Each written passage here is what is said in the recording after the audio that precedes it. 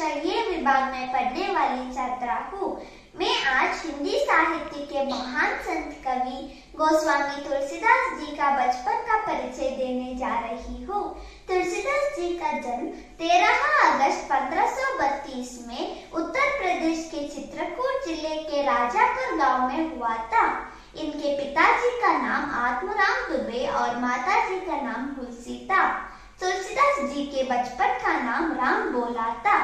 जब तुलसीदास जी का जन्म हुआ, तब वे रोने के बजाय इनके मुख से सबसे पहले राम का नाम ही निकला था। इसलिए इनका बचपन का नाम राम बोला रखा गया। इनके जन्म बत्तीस दांतों के साथ ही हुआ था। हर नवजात शिशु अपनी माँ की कोख में नौ महीने तक रहता है, लेकिन तुलसीदास जी बारह महीने तक अपनी माँ की कोख में रहे।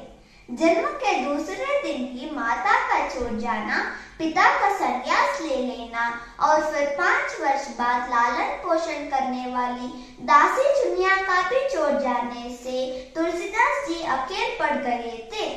तब वहाँ के रमानंद के मठवासी के आदेश पर करने वाले न हरिदास ने इनको अपना लिया और राम बोला को अपने अयोध्या आश्रम में रहने दे दिया। तुलसीदास जी बचपन से ही वाले थे जो भी एक बार पढ़ते थे, वो उनको कंटस्थ हो जाता था। ये रहा तुलसीदास जी का बचपन का परिचय। धन्यवाद।